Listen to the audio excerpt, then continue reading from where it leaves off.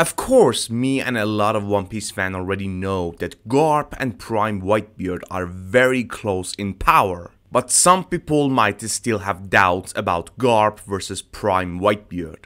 Ace novel might have solved this issue. This canon novel has stated that Prime Whitebeard is the only living creature who ever went toe to toe equally with Roger, implying Garp never fought Roger equally. And honestly, Garp called Whitebeard the king, and Sengoku said entire Marineford might not be enough to defeat that man. So yes, Whitebeard is above all Marines. But the gap is debatable. By the way, if you're here a lot, you may as well subscribe. Please.